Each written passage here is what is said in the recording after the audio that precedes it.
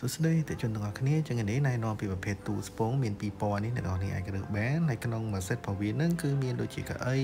មានទូស្ពងមានបំពង់ប្រហុយផ្សេងមានតយោមានតេលេមានថ្នាំកោបមានកសែងកក្បាតថង់កក្បាតជាមួយនឹងថង់សម្រាប់ឆក់ទូស្ពងហើយនឹងកម្រាលព្រំមួយទៀត ហើយសម្រាប់ប្រភេទនេះគឺយើងងាយស្រួលប្រើមែនទែនយើងប្រើរហូតបានទៅដល់90គីឡូជាងអាចចូលក្នុងទូនឹងបានហើយទូនេះជាប្រភេទទូ2ជាន់ចឹងមានកម្រាស់ខាងក្នុងនិងខាងក្រៅហើយរូតរបស់វាគឺវែងរូតដល់ក្រោមតែម្ដងគឺស្រួលប្រើយើងរូតខាងក្នុងក៏បានរូតពីខាងក្រៅមកក៏បានហើយយើងដាក់កៅអីចូលទៅយើងអាចអង្គុយស្ពង់បានចឹងណា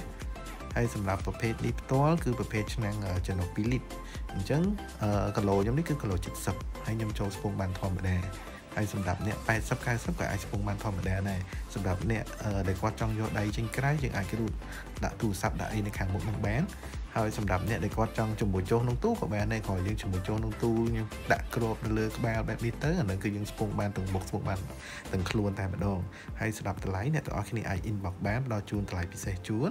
មានឈុត A ជាមួយនឹងឈុត B ហើយពណ៌មានពីរពណ៌ដូចក្នុងវីដេអូនេះអ្នកទាំងអស់គ្នាអាចជ្រើសបានបាទអញ្ចឹងមានប៉ុណ្្នឹងណែនាំជូនបាទអរគុណច្រើន